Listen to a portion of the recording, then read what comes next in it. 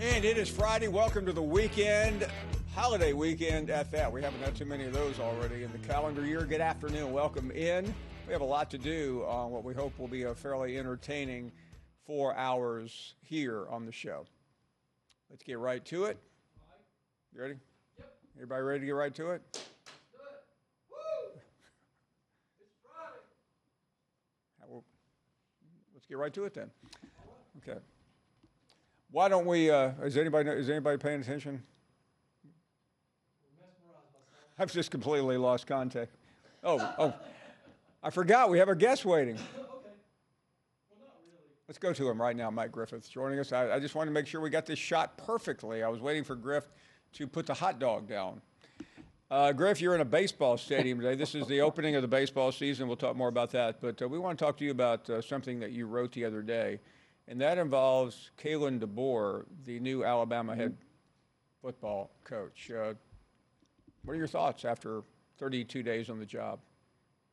Well, Paul, we knew that this was going to be an impossible job for anybody to fill the shoes of Nick Saban. And, and certainly when you bring someone in from the outside that doesn't know a lot about the SEC or the Southeastern Conference, the challenges, I think, go up. Uh, obviously, Greg Byrne, the Alabama athletic director, felt good enough about Coach DeBoer or where he was at in the coaching search after maybe some other names had come up that, that didn't take the job. I don't know if they were offered. They certainly got big raises. Uh, Steve Sarkisian over $10 million now. Uh, you know, we saw the Florida State coach on the heels of losing 63 to 3. Uh, he gets a, Mike Norvell gets a raise over $10 million. Uh, you know, Dan Lanning very comfortable in Oregon and, and, and Coach DeBoer, but you felt good about that because after all, Ryan Grubb was the guy that Nick Saban had interviewed, his offensive coordinator. Well, now suddenly uh, Grubb's not there. Grubb's gone to the Seattle Seahawks, and he's also taken the offensive line coach with him. And you know, one of the things about the Washington team, they'd won the Joe Moore Award for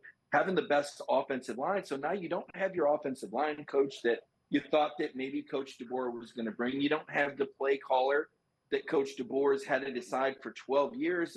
You did pick up a couple of guys that uh, off of Butch Jones' staff. You know, Butch Jones is the guy that uh, hired Robert Gillespie and, and Nick Sheridan, a couple guys that got promoted. So uh, a couple guys from the Butch Jones era at Tennessee now with some Indiana coaches and and Coach DeBoer and and, and here you are with uh, spring football uh, upon us. Yeah, I appreciate that word salad, Mike. But this is exactly what you said in your column. You said it's been a bumpy start for Kalen DeBoer in Tuscaloosa, to say the least. The new Alabama coach has struggled to keep key players and staff members in place, leading many to wonder if DeBoer can get the tide rolling once again. I see how you, you, you kind of skipped that when you were trying to paint a rosy picture. What exactly do you mean by that? Well, listen, here's what I've realized. I mean, this is a very sensitive time for Alabama football fans. They knew this day was, it's like an aging relative uh, was ready to pass on or pass on or move on, I should say, uh, to ESPN. And boy, I can't wait to see Nick Saban on the set at ESPN. We kind of knew that was coming, but what I, what I meant, Paul, was that this hasn't gone as smoothly.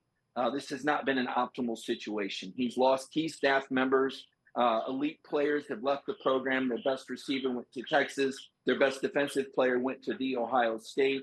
Uh, they've had to reach and hire other assistants. Typically, uh, coaches like Gillespie that get held over. These are usually guys that stick around for a month or two and kind of give a coach the roadmap, and, and then they usually get rid of them. That's typically how it goes when you hold a couple over. I mean, you know, you got to look at the position that Coach DeBoer is in. And it's, it's like President Biden. You know, you got to have all these advisors around you telling you what's going on. It's a it's a huge undertaking to be the Alabama football coach in the Southeastern Conference, Paul. I just I think you need to look so, at so, the so Mike, hold on. So you're, you're telling me you're comparing Kalen DeBoer to an 80 year old uh, president of the United States? I mean, what, what does that mean?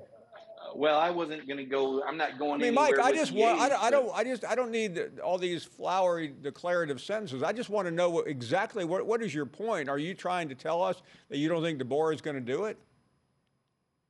Well, I think it's been evident from the start that there was going to be some challenges, Paul. I just think we need to be sensitive to the Alabama. Oh, hold on, Mike. I mean, I, Mike, Mike. We don't need. Uh, again, I can. I can I can go to the bookstore if I want to read literature. I just want to know what you really think without all this without all this nonsensical I BS. Think there's, I think Coach Spurrier was right. I think when Steve Spurrier said this was probably going to be a two or three year hire, that that that's probably what this look it's starting to look like it could be with the fact that Coach DeBoer does does not have his best assistants with him any longer. The fact that you know there's been some questions, Paul. I don't know if you saw this. The Seattle Times basically accused Alabama of of holding out on these players so they couldn't transfer. They waited to hire the OC in Seattle, according to the Seattle Times, 30 day window, so kids couldn't get out of Alabama. It makes you wonder will that transfer portal be filled up with Alabama players? And what will that do to the Crimson Tide? Listen, Paul, you've seen this just like I have. We were there covering Alabama in the 90s when Gene Stallings went out that door, and he had built a championship program they were four and seven one year later. Now I'm not suggesting Bama's going to go four and seven or four or eight, but I think there's a real possibility that they're not going to be a playoff team. And there are a lot of questions about Kalen DeBoer. And if you're not asking those questions, you're not paying attention.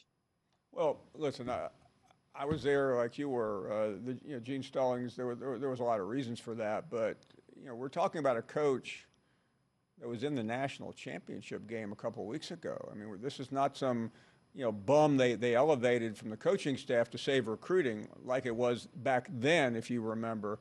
Uh, this is a guy with impeccable credentials. Yeah, well, Bruce Arians was the offensive coordinator, by the way, and he had pretty good credentials. But uh, Michael Penix isn't coming with him. Newsflash for you, Paul. Uh, the Heisman Trophy runner-up is not on the Alabama football team, and we don't know how Jalen Milroe is going to translate into Coach DeBoer's offense. And here's something that Jamey Chadwell told me.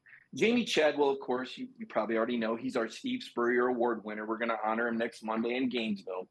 But something Jamey Chadwell told me was it's harder to take over a winning program than a losing program. And the reason why is because anytime you try to tell a kid how to do something, you hear, well, that's not the way Coach Saban did it. That's not the way it's always been done before. So there's going to be some challenges. I mean, these players signed on to the Crimson Tide, and Alabama fans will tell you Nick Saban's the greatest coach ever. They signed on to play with him. They didn't sign on to play with this coach that nobody had heard of before the last year or two at three and three Fresno State in 2020. I mean, let's be honest. How much did we really know about Kalen DeBoer before last year? He's somewhat not the hire that you would have expected. I guess it just surprises me knowing that Nick Saban's departure was was going to be imminent. Now, now what Nick Saban said, this almost makes me wonder if he's going to come back and coach in a year or two. Is he said that in 2020 interview, he said that he would leave when when he was an impediment to the university. Listen, Paul, he's not an impediment. Nick Saban can still coach. We Mike, Mike, Mike, Mike, can I stop you? I mean, you quit making stuff up, okay? I mean, what Nick Saban what, what, said, what, in, what, what, Nick Saban said in, in, a 2020 interview has absolutely nothing to do with a, a, man who said he was tired, he was ready to move on, and he's also 72 years old. I mean, I don't know why you always have to just create things out of out of midair. Like, I mean, you, you're insinuating that Alabama. I mean, I, I'm going to interpret what you're saying. You, you, you've already sure. said it to a degree. You basically said Alabama has a two to three year coach. Am I am I right about that? I'm yes or no? Yes or yes or yes or me. yes or no, Mike? I mean, as of February 17th, uh, yeah, that'd be my prediction. Is three years would be the window right now. If you put gun to my head, I'd say within three years. Yeah. Sure. And and do you think anybody else would be in a different position taking over for, for Nick sure. Saban? Absolutely. I, I think if they, I think they could have done a better job and getting the next coach set up. This could have been orchestrated much better, in my opinion. And whose fault was that? And whose in, fault is that? Is that Nick Saban's fault, well, or is that Kalen I mean, DeBoer's fault? I don't think it's either one of their faults. I, well, Nick Saban's the guy that, that, walked into a room uh, and resigned uh, five weeks ago, and it wasn't anybody else. Well, he, he had quite quit long before then, doing weekly television interviews and buying a $17 million mansion and two Mercedes dealerships. If you couldn't see the writing on the wall, I mean, we're not talking about hieroglyphics here. This is a guy that was ready to go, at least for now. Again, and, and, and Paul, I'm a little surprised that you would. By, by the way, the, the, guy the you guy that was ready think... to go, that guy that was ready to go, also beat the number one team in the country and prevented Kirby Smart, your guy, uh, from sure from a three-peat. And that's why I wouldn't be surprised if he's back in two or three years, Paul. I mean, when he's, he's certainly 75? not an impediment to Alabama. Why not? I mean, he looks fit and fit as a fiddle to me. He's going to be on uh, the, the, game day show each Saturday. Well, uh, well, Listen, uh, well, I'm Mike. I mean, there, there, there are guys on game day who are 88, so I'm not sure what correlation that means. What, what does that mean? I'm just saying I'm not going to sell Nick Saban short. He may get the itch and say, you know So, I mean, are, are, ready Mi- to Mike, are you really suggesting you think Nick Saban, after a year or two or three on game day, is going to come back to Alabama? Is that what I'm hearing from you? I'm not ruling it out. I'm not ruling it. I'm not selling Nick Saban short, Paul. I'm not going to sell. You may sit there and sell him short. I'm not selling I'm him short. I mean, I I, think I've, this I've is never sold. I've never sold him short.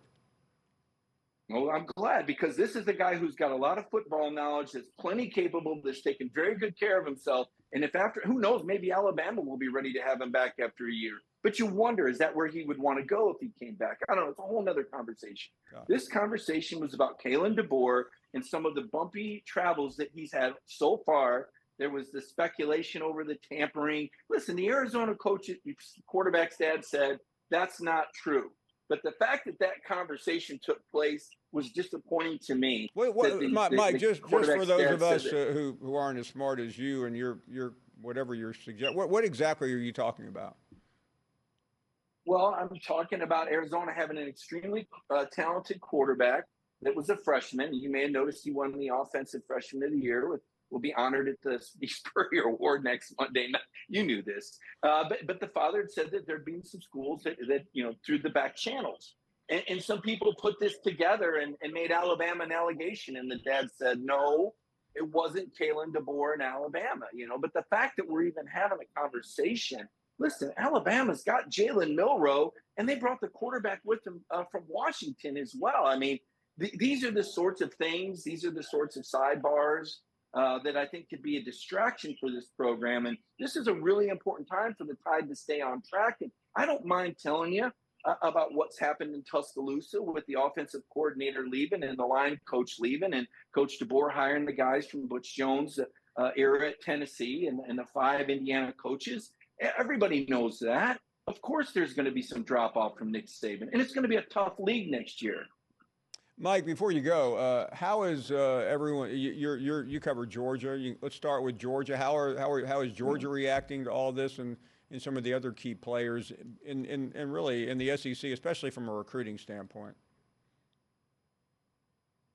Well, Paul, Georgia's got their challenges too. I mean, their run defense fell all the way to number 18 in the country. And so, good thing for them, six of their seven defensive tackles are coming back and a pretty talented group. You know, Carson Beck now he's got some receivers. I think they'll be more effective driving down the field. Certainly uh, off the field, he'll be driving a little bit better in a Lamborghini these days. If that gives you an idea, Georgia doing well with their collective and taking care of their players competitively with other programs that have elite quarterbacks. But and Georgia doesn't think too much. Kirby doesn't think too much about Alabama. Georgia fans really, you know, the, really the October 19th game at Texas is, is the big headache.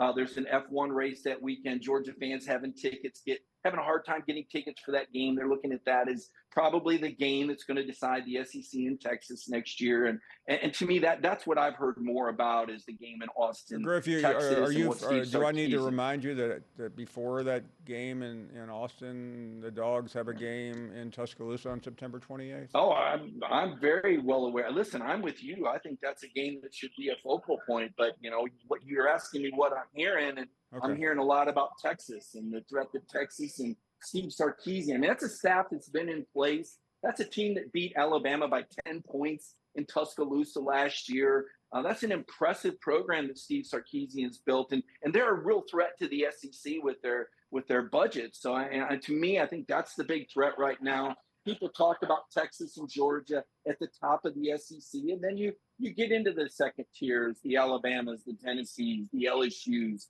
Ole Misses, and Missouris. Mike Griffith joining us. Thank you, Mike. Always good to see you. Appreciate it. Mike Griffith joining us from Athens, Georgia.